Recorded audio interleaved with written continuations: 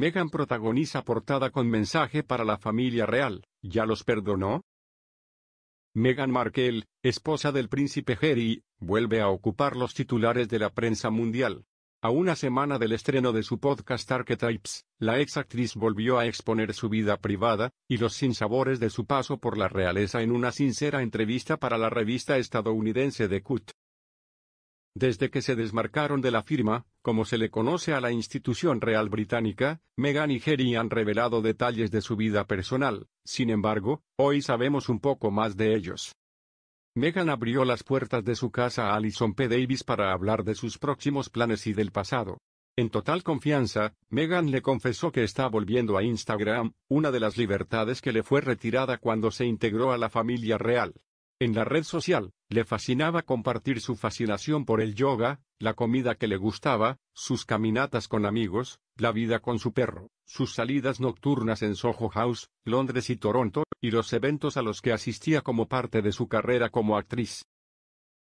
Le encantaba compartir su vida con la gente, dice, pero amaba más a Jerry y, fue un gran ajuste pasar de ese tipo de autonomía a una vida diferente. En la casa real literalmente, existe una estructura en la cual, si quieres publicar fotos de tu hijo, como miembro de la familia, primero debes dárselas a Royal Rota, el grupo de medios de comunicación del Reino Unido.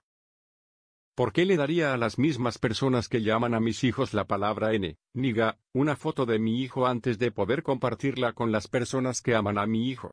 Criticó. La casa de Meghan y en Montecito.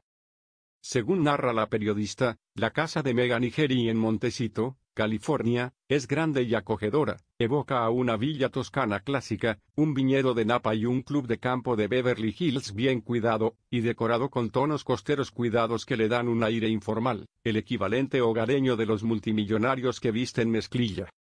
Aunque ella y Harry se han apartado de sus deberes reales, Meghan todavía es muy consciente de que la gente la ve como una princesa. Es importante ser reflexivo al respecto porque, incluso en la entrevista de Oprah, estaba consciente del hecho de que hay niñas pequeñas que conozco y dice no, Dios mío, es una princesa de la vida real, pero sus ambiciones para sí misma, y las niñas que la admiran, son más que casarse. Simplemente las veo y pienso, tienes el poder dentro de ti para crear una vida más grande que cualquier cuento de hadas que hayas leído. No me refiero en términos de podrías casarte con un príncipe algún día, me refiero a que puedes encontrar el amor, puedes encontrar la felicidad, puedes enfrentarte a lo que podría parecer el mayor obstáculo y luego puedes encontrar la felicidad nuevamente.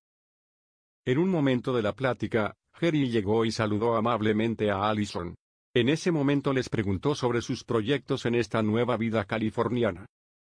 Creo que siempre supimos que los primeros años de crear esta nueva vida desde cero iban a ser los más ocupados, dijo Jerry sobre Archuel, la empresa que fundaron para dar seguimiento a sus proyectos altruistas e incursionar como productores de contenido streaming podcasts.